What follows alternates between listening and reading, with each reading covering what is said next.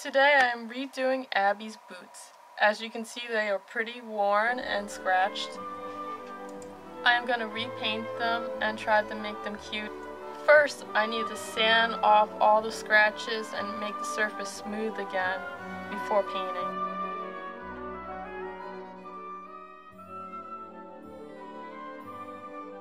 Now we are going to paint Abbie's boots.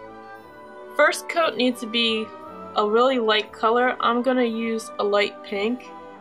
And then the next color I'm going to use is a darker pink. And then on the bottom, I am going to use a really light purple. And then the second coat, a little bit darker purple.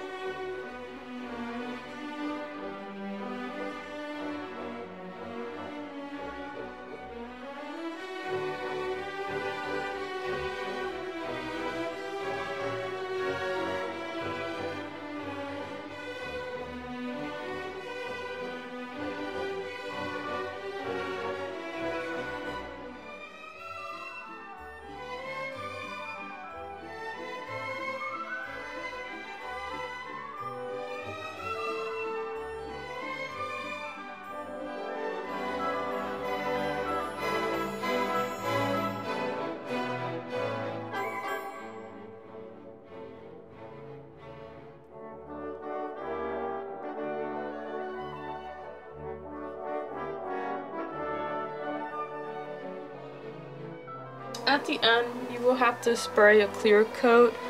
Um, in this case, I'm using a glitter clear coat to make it actually a little bit more fancier for Abbie. She loves her sparkles.